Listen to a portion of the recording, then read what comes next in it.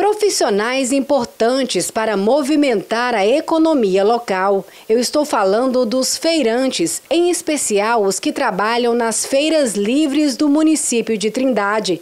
Eles foram homenageados na noite desta segunda-feira na Câmara Municipal da cidade. A homenagem partiu do deputado Cristiano Galindo. Nós nunca tínhamos recebido uma homenagem assim. É, foi muito gratificante, né? A gente fica muito, assim, é uma gratidão pelo reconhecimento, né? É um privilégio estar aqui representando a classe, uma classe trabalhadora, né?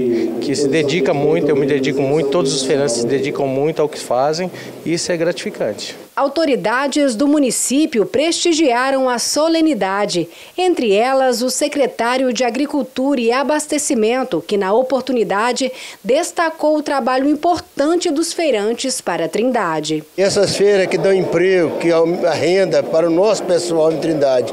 Nós temos hoje 20 feiras em Trindade, que é a maior quantidade de feiras do estado de Goiás. Então isso é muito importante para o nosso município. Para o deputado Cristiano Galindo, o reconhecimento engrandece o trabalho realizado pelos feirantes, além de ser um momento muito especial. São pessoas que são da cidade, que trabalham dia a dia, que acordam muito cedo.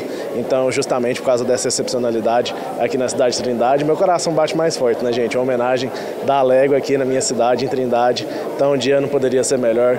Agradecer a Deus e a todos que estão aqui, toda a equipe da que está compondo aqui, para a gente fazer essa bonita homenagem.